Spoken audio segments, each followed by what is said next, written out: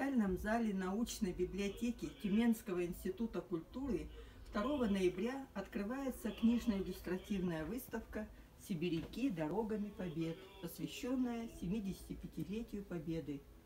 В войне 1941-1945 годов Советский Союз вынес на своих плечах главную тяжесть борьбы с фашизмом. Весь народ стал на защиту своей родины – неувидаемой славой покрыли себя на фронтах Великой Отечественной воины-сибиряки.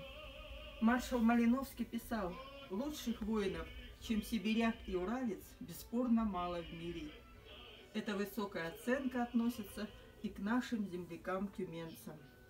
Уже в начале войны в Тюменской области были сформированы боевые соединения, а 368-й Печенегской стрелковой дивизии – на выставке есть книга «От Тюмени до Киркинеса».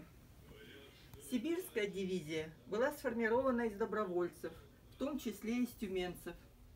Достояние выставки – книги «Тюменские дивизии военного призыва» и «Фронт к победе». Более 11 тысяч тюменцев героически сражались в боях с гитлеровскими захватчиками – за совершенные, совершенные подвиги они награждены орденами и медалями. 12 из них стали героями Советского Союза. В суровое военное лихолетие тюменцы самоотверженно трудились на полях, на заводах, фабриках, выпуская продукцию для фронта. Снаряды и боевую технику, торпедные катера, электрооборудование для самолетов, медикаменты, одежду. Тюменцы вносили средства в фонд обороны, Тысячи подарков было отправлено на позиции бойцам. Тюмень стала городом-госпиталем.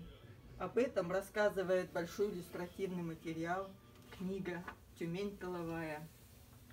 О ветеранах, героях Великой Отечественной на выставке книги воспоминаний, письма, биографические и поэтические сборники.